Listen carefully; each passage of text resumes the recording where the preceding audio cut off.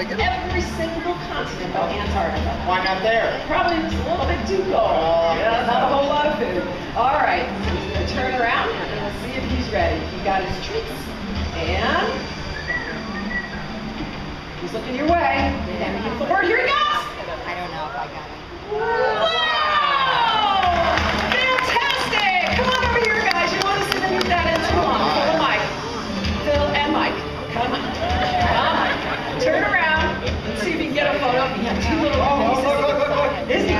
That is His face is really unusual. Yes, he's also known as a sweetheart owl because they have a beautiful heart-shaped facial disc.